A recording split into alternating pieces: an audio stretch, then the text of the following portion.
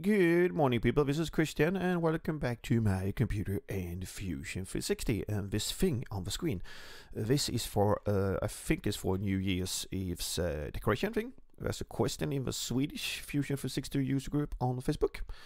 And the question, the image was uh, to create something like this image, and uh, um, I'm just using this for inspiration, not a total copy, because there are too many pipes here. The user in question wanted to have a, a maximum of. Uh, why did you start? Close. Uh, wanted a maximum of. Uh, he had 20 pipes. Sorry, he had 20 LED pipes, and some way of arranging them around the sphere and the easy way is to do 6, 6, 6 and 1 because this gives us 6, 12, 18 and plus 1 is 19 so we are very close to 20 and at the bottom we have a larger pipe to uh, connect to a pole and of course they are empty on the inside we can do that direction I created this way so they are quite usefully 3D printable. I suppose they're going to be 3D printed. That's the cheapest way to do this. We're going to need some support here. That's all the support going to end up on the inside. These have a 45 degree angle, so you should be able to print them usefully. And we have some support. And I added some chamfer here and some chamfer down here. And using just basic features always. Let's have a look at picture again. Okay, lose everything. As always, uh, look at things do we have some kind of patterns? One, two, three, four, five, six, six, eight. Yes, we have a pattern around here, and we want to design like a pattern, and we have repetitive things like this knob here. So, want to do the minimum amount of work as usually because I'm lazy. I'm gonna start a new design. I will not save it now, but always remember save your things. So create a new sketch. Start from the front. Start with a big circle because everybody likes a big circle. We're going to do a line, something like this. Another line here. These two lines will be used for creating these small supports here.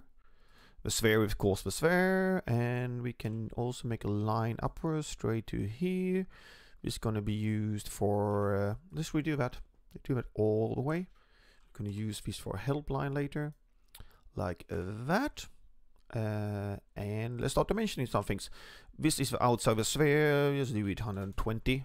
It's a bit too big, I think it was 100 millimeters, but only to design. But anyway, uh, we're gonna use some parameters. We have some things we know, so we like to reuse. So just to use user parameters of that. We're gonna do our LED pipe OD outer diameter. That's gonna be 20 millimeters because we're 20 meters pipes. Uh, we're gonna have. I like to use uh, wall thickness parameters when I have things that I will reuse in the design. If I don't reuse it, I normally just put it in a sketch and uh, mount pipe, a big pipe down the bottom. I think he said was 38 millimeters. And that's of course the outer diameter of a pipe, so we're going to be the inside diameter of the hole we're creating. Okay, we're going to create a little rectangle here. Midpoint constraint, this is going to be one of the small extruding pipes. The extruding pipe, these that are pointing outwards. So we're going to create one of those. We're going to dimension this here. So this up here is going to be our LED pipe. And we're going to do plus 2 times our wall thickness like that and we need to decide how far uh, out they're going to protrude from this here. Right click select tangents we're going to pick here to here. Let's do those 15 millimeters or ah that'd be too short let's make them 20 like that these two here is going to be equal because these are the two uh, support structures this one and this one here. And I want these to be 45 degrees. We can dimension it or we can use symmetry because if we have two perpendicular lines and one in the middle it's going to be 45 degrees. And let's dimension this how far this goes. It's going to be from tangent again from the circle out to here and I'm going to use this dimension so click that that dimension and minus let's do 4 millimeters shorter than that uh, I do not need, uh, we're going to do revolve on a sphere of this later for creating a pipe, which means I do not need the lines on the inside here. So we can, sorry, sketch, get back to my tools. Uh, I want to do trim, trim, trim, trim. Let's open up the sketches, have a look. We have a fully defined sketch. Do we need any more of this sketch? New. I will create the rest of the pipes later. Uh, let me think. Yeah, I think I'm pleased there. we're gonna finish this. Yes, revolve. We're gonna start revolving things. We're gonna do this. We do need to create half a pipe or half a sphere. Sorry, this is half a sphere. We're gonna hit OK. Because we have a symmetry on top and bottom. Let's explain how I'm thinking. This top is the same as the bottom down here, except for this thing, which I can create later. So I'm gonna create only the top one and then use mirror. So by this, we have started that. We're going to create one more pipes. Going to revolve again. This here around this. Make sure it says join because we're going to use this in a pattern now. Uh, oh, sorry. We're going to do a circular pattern. Start by getting these three pipes down to here. Feature, yes, this feature. Axis, we're going to select the green one in here get the V-starting round. That's wrong. We're going to do it on an angle and uh, we can see it's in this direction. I want it to the left because I have started sketching there. That's just my mind to understand things. So minus 90. And we're going to need uh, three of them, of course. Hit OK. And we have those. We're going to do a circular pattern again of feature. It's enough to do the circular pattern. We don't need the pattern of the top one axis, we can simply just select the round edge of the sphere. And this time is going to be six of them. Like that. I'm going to turn on edges so it's a bit easier to see. That looks good. We're going to open up and have a check. Here how many bodies we have. We still have one bodies because everything we've been done our patterning using adjust has been joined to the first body. Let's hide this. Go to revolve, surface revolve, uh, profile, uh, go select this one around this uh, I don't want to do both at the same time because then Fusion will connect the two bodies. I'm not going to use thicken and that in most cases creates some strange behavior. We could do that one. We're going to do thicken of this body and uh, we can do it uh, wall thickness. Now the interesting thing with thicken is that it adds the dimension on both sides. We need to divide it by 2 because we're going to do it symmetric. Could do dual body? No, we're going to turn on our first body and make sure it says join, like that. This surface body has done its job, I'm going to right click and choose remove. Hide the body. S key, revolve, select the orange one because that's the surface. Uh, this profile around this axis. Three accessories, new body, yes. S thicken. And in this case, uh, because we will use mirror later, I'm going to do it on one side only. Now this is on the wrong side as you downwards, so we need to do minus our parameter wall thickness once again divided by 2 because we're going to do half of it we're going to mirror it later so we get the full uh, thickness turn on our body tell fusion to join and let's remove our surface body you see I try to clean up as I work forward in the design, uh, sorry, my nose is a bit bad because it's been snowing outside and I needed to remove that yesterday. So, uh, that's that far. Let's see, we have done everything we need here, so we're gonna do a mirror, mirror of bodies, this body. Mirror plane is very simple, this here, because we have, it's the same as this plane here, so let's select the plane. And I'm gonna do a join, hit OK. We have this, now it's basically confusion, so we're gonna hide the sketch for now and we have created our base body, but it's a solid, so let's do a shell command, the blue one. Now it's a bit of clicking around because we need to select all our faces here on the outside of our pipes. Oops, sorry. Make sure we don't click on something else. Let's look from here. Four. Boom, boom, boom, boom. This is so exciting. Oh, I happened to click wrong, maybe. Somewhere else I hit wrong on no. Only the outside of the pipes we are clicking on like that. I think we shall select all of them. And of course, inside thickness is going to be our wall thickness parameter.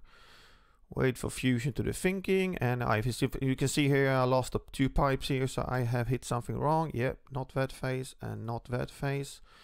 Release, I hold down control to reselect. I can see I missed click some here. Two, two. Some by, sometimes uh, what's happening is select through. It happens to select faces on the back side of things. Let's see, I think we got all of them. Hit OK. Wait for Fusion to think. Check our design. It looks good. Uh, now we're going to add the big pipe on the bottom. Create sketch. We're going to use, look from the bottom, we're going to use I want to use this face here. I'm going to do a circle here. Uh, I now know that, that he wanted the pipe to be 38 millimeters. That's the inside diameter. Oh, for offset, I'm going to do this like uh, 4 millimeters fixed. We get some thickness on this one.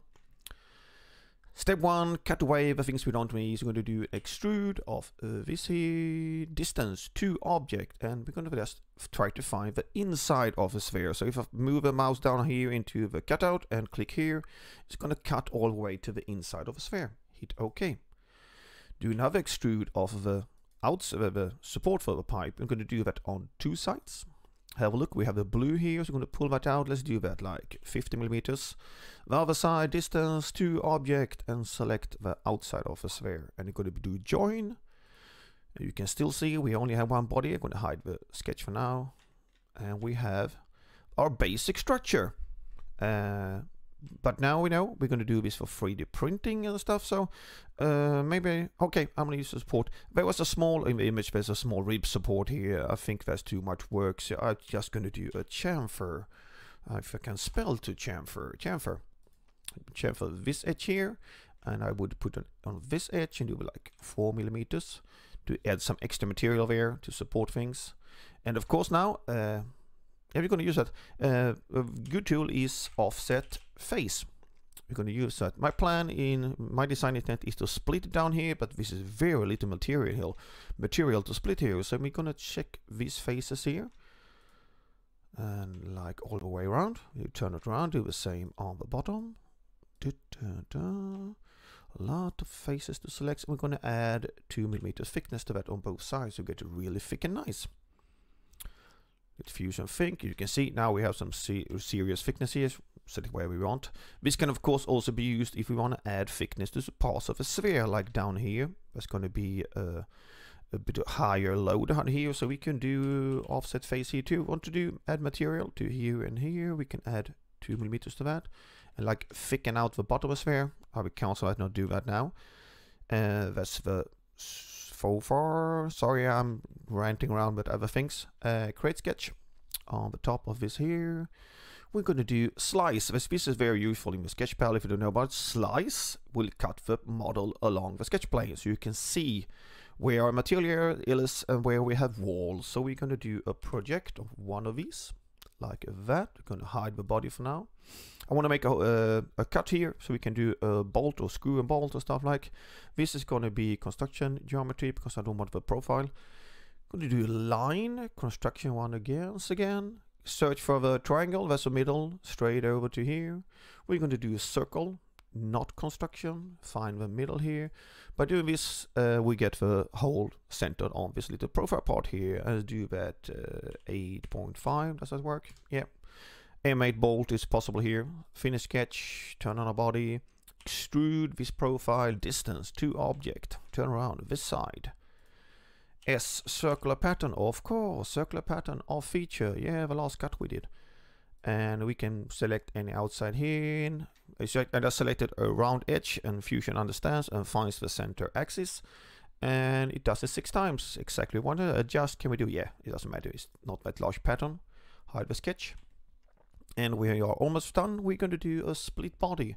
What body split? This, as we have designed around uh, a origin point, we can use the planes of the... Let's see, can you find it? New, not that one. Hold down the mouse button. I hate when Fusion does that. Sometimes it is a problem to select through things. That plane I want, I turn off a body to find it. Uh, and okay. And now we have two bodies.